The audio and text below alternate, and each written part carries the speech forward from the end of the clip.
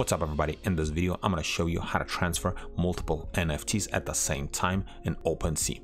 So let's say for example you bought a bunch of NFTs or you have just a lot of NFTs in your wallet and you're changing wallet or you're just trying to transfer to hardware wallet or to just different wallet, more safe, more secure wallet and instead of just pressing on each NFT and pressing on transfer and then it's going to be transferring one at a time, what you can do, you can go back and then in here press on these little three buttons for more options.